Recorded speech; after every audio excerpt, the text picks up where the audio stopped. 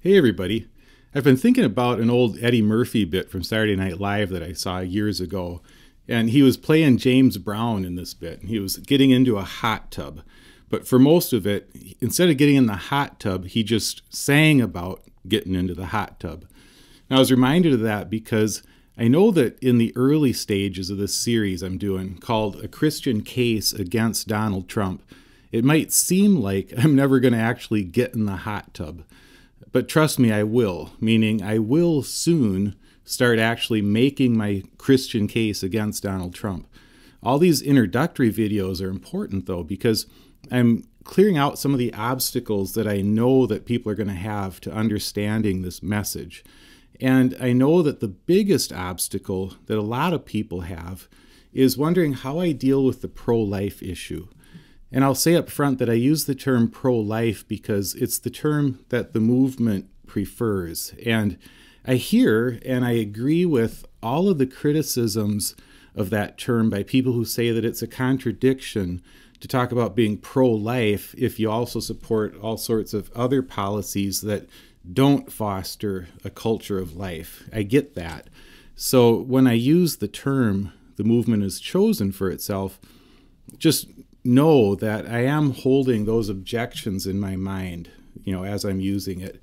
Now, my goal for all the videos in the series is to help Christians to see the danger of letting Donald Trump use some of our most deeply held convictions to get himself elected president.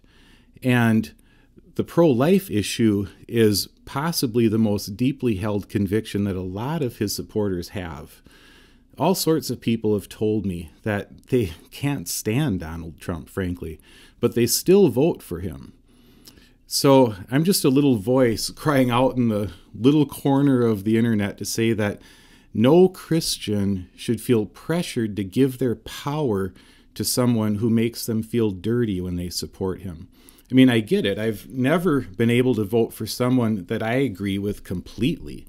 I've heard from many people, though, that they feel cornered by the pro life issue and voting for someone that they just find loathsome. And I don't think that's healthy. I think it's bad for people to divide their minds in that way, in the pursuit of political power. And I think it's deadly for the broader Christian movement if we do that. So, my main goal in this video is to help people who see the like dark side of Trump to know that you don't have to vote for him just because of the abortion issue.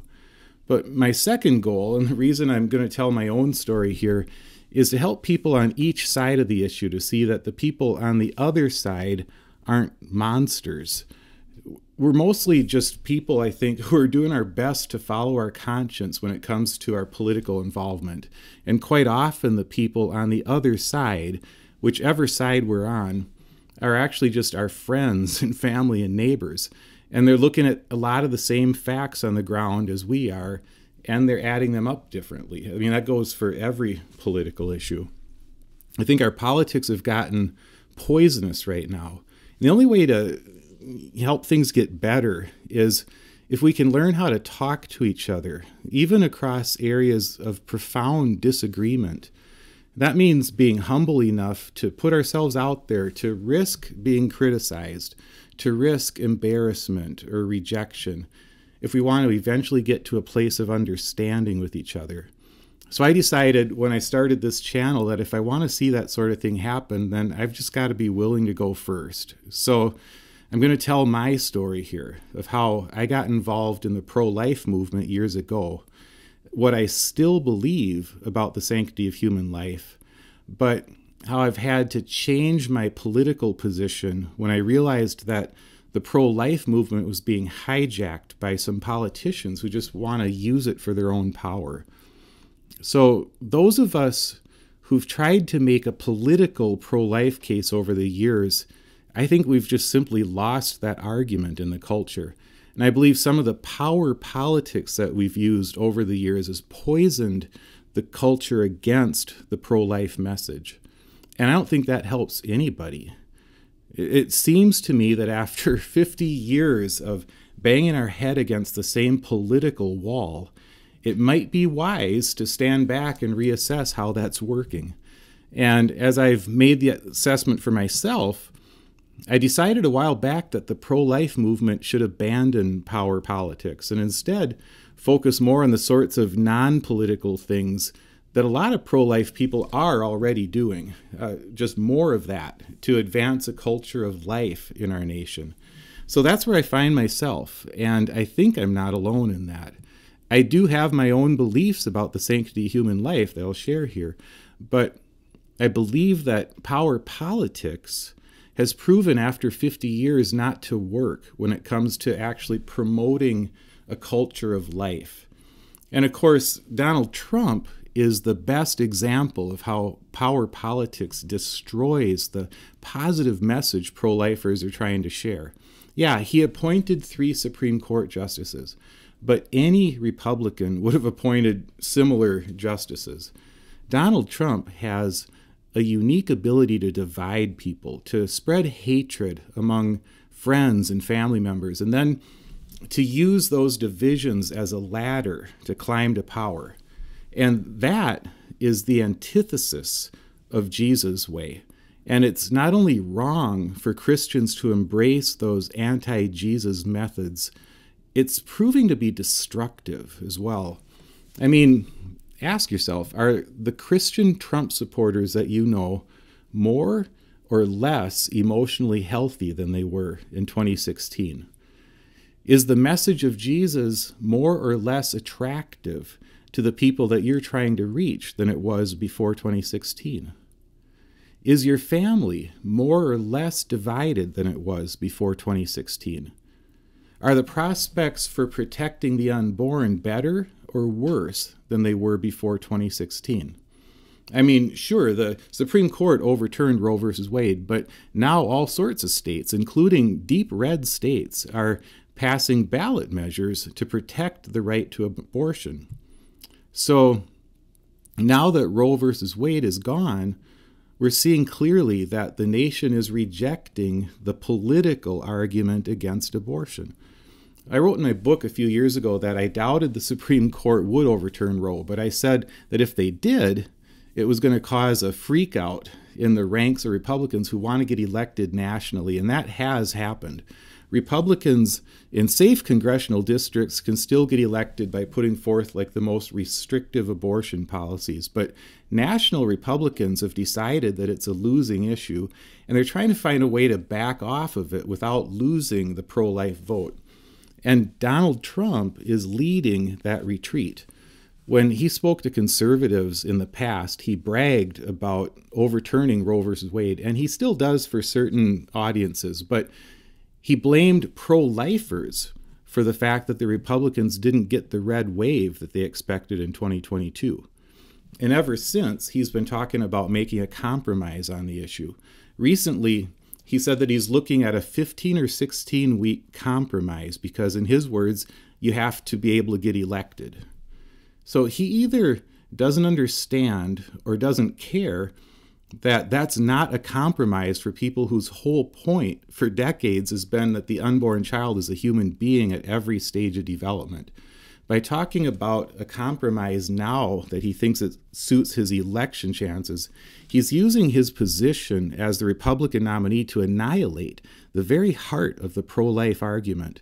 He's accepting the starting point that we can pick an arbitrary period of time at which the unborn child becomes a human being worthy of legal protections. And with that compromise, he's throwing the entire pro life argument under the bus. He wants pro lifers to support him because of what he did in the past regarding the Supreme Court, but he wants them to ignore the fact that he's essentially returned now to the pro choice position that he always held before he ran for president. He won't call it that, of course. He'll call it a national abortion ban. But the number of weeks that he's floating right now, 15 or 16, would legalize over 90% of the abortions that currently happen in America. And a good number of the other 10% also wouldn't be covered by his ban because they happen for all sorts of like really painful reasons that that are already covered by exceptions to the laws. So if pro-life voters choose to compromise along with him on that issue, it's going to be quite the irony. It'll be fair for the rest of us, for people like me who got raked over the coals by pro lifers because I saw a few years earlier than they did that power politics weren't going to work. To look at the people who still support Trump now and say, okay, so I guess it wasn't all about the babies after all. So, anyway, that's where I'm coming from in a nutshell.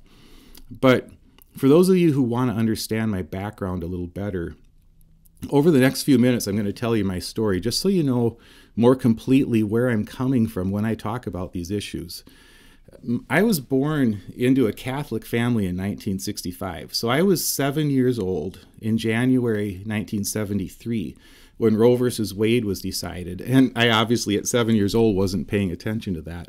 But I clearly remember the first time that I heard about abortion. I was at my grandparents' house, and it must have been during the elections in 1974. I saw a political ad on TV and I remember a woman saying that she wanted to protect babies from abortion. So I asked my mom what that was, and she told me, and I decided, okay, I wanted to protect the babies too. It was really that simple. At eight or nine years old, or whatever I was, I didn't have any desire to control women or get myself involved in a culture war, and I certainly wasn't thinking about imposing my Catholic religion on anyone. It was as simple as seeing a political ad on TV and saying, okay, yeah, I didn't know that this was a dispute, but I guess I'm on the baby side. So that simple approach stayed with me all through high school. And that time, I did hear messages about it in church. So I guess I can't say that my religious faith had nothing to do with my convictions, but really I was just affected by a political ad at eight or nine years old, and I didn't look back. But in high school, I started to think about it more as a political issue. The first election that I paid serious attention to was Ronald Reagan in 1980 when I was a freshman. I know now that that election, the evangelicals were swinging over to the pro life position and swinging hard towards Republicans. But at the time, I was still a Catholic kid who simply saw Reagan talking about something that I always cared about. So I want to make a point here that I don't think some of my pro choice listeners take seriously enough. For an awful lot of people who call ourselves pro life, it really is as simple as seeing the unborn child as a human being and trying to figure out what to do about that. I mean, I understand that the concept of fetal personhood is complex and it ends up having a bearing on issues like in vitro fertilization and certain forms of birth control. And that's one reason I started moving off of my hardline approach several years ago. But I understand why people might see my position as a young guy as naive or like only part of the picture. I get that. But the fact that I see the unborn child as a human being was my starting point, and I still pretty much see things that way. So, when I started to look into the issue more deeply in high school, I saw that the other side of the argument was about women's rights over their own bodies. And to me, when I was 14, 15, 16 years old, I never rejected that argument. It always felt important to me that when I was old enough to vote, if I decided to vote for the rights of the baby, it meant that I was going to be voting against the rights of the woman.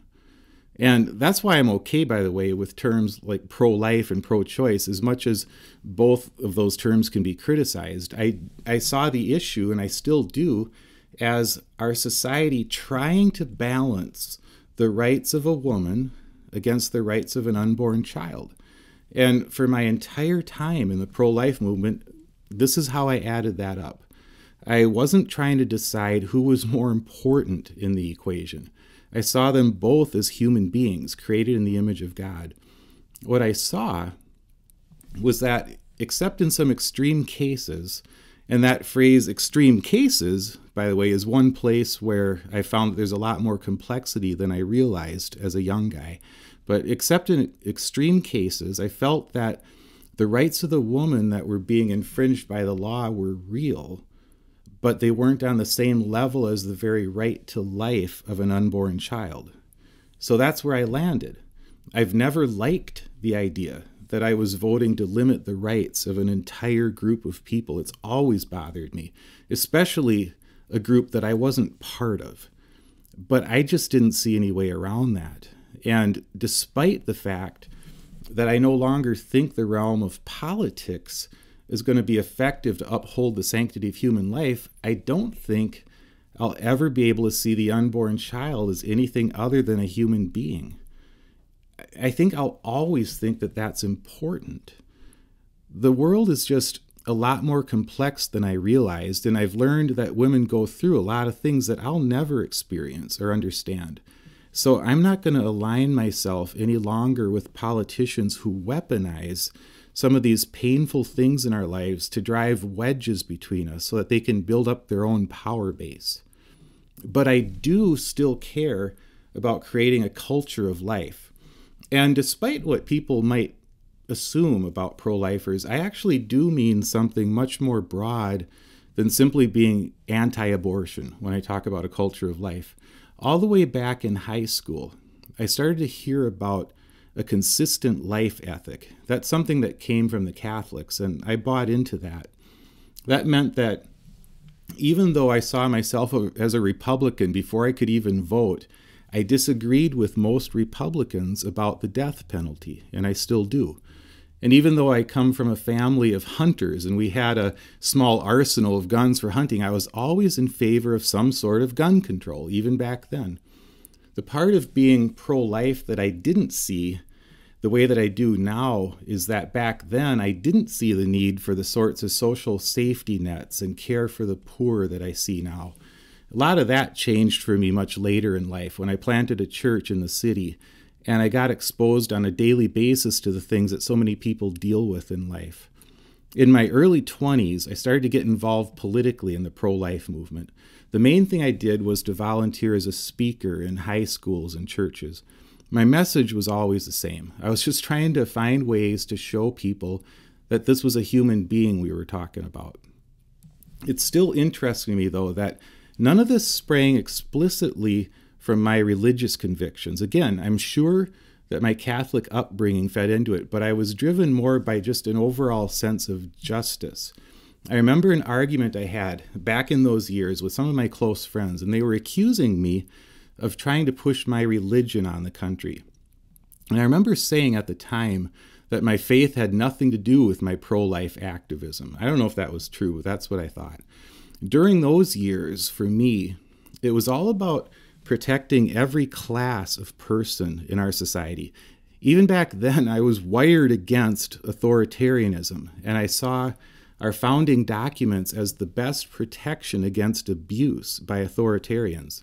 So I didn't go to the Bible to make my case. I went to the preamble to the Declaration of Independence. I went to you know, we hold these truths to be self evident that all men are created equal, that they're endowed by their Creator with certain unalienable rights, that among these are life, liberty, and the pursuit of happiness.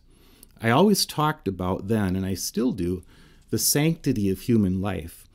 But I wasn't using the Bible as my starting point. I was using those words, endowed by their Creator with certain unalienable rights, I didn't look at it like everyone in America needed to believe in the same creator that I did or in a literal creator at all. I just thought we all needed to agree that our rights came from somewhere like beyond the reach of human beings. I believed, and I still do, that the greatest protection against the abuse of human rights is for all of us to agree that we don't get to decide who gets to have these rights that these rights come from somewhere out of our reach. And I saw the original sin of our nation as being that we say we believe all human beings have rights, but then we decide who gets to be human. And I think most people, back when I would talk about these things, would agree with me, except when I applied that logic to the unborn child. My main point was that if we can deny humanity to this one class of human beings, then we can deny it to anyone.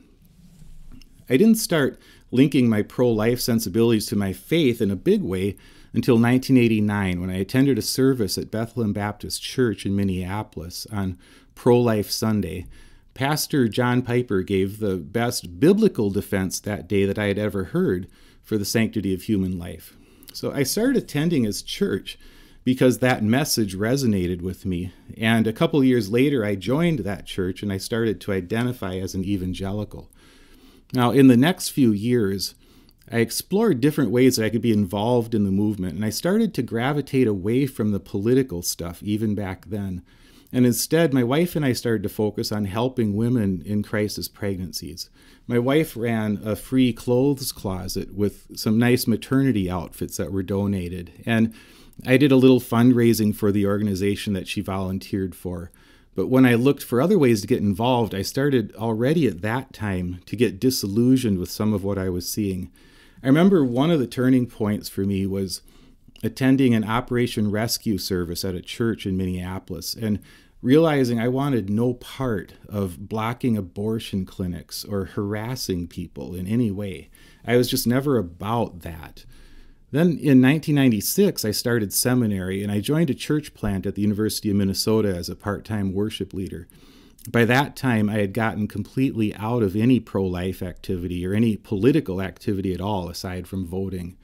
And by the time I planted my own church in St. Paul, I wasn't even following the political news. But the one political conviction I still had was that I would never vote for a pro choice candidate.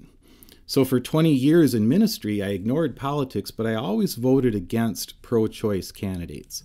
I always said that being pro life was not a qualifying trait for a politician to get my vote, but being pro choice was disqualifying.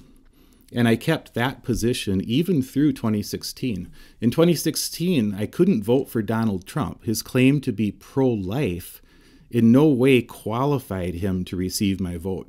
But I also didn't vote for Hillary Clinton, again, because I was still operating under my conviction about never supporting a pro choice candidate. It wasn't until 2018 that I had seen enough. I had started to pay attention to politics again after I retired from pastoral ministry in 2016. So by 2018, I realized that politicians had hacked the system. They knew that people like me would support them if they claimed to be pro life, or we at least wouldn't vote for their opponent, and they took advantage of that.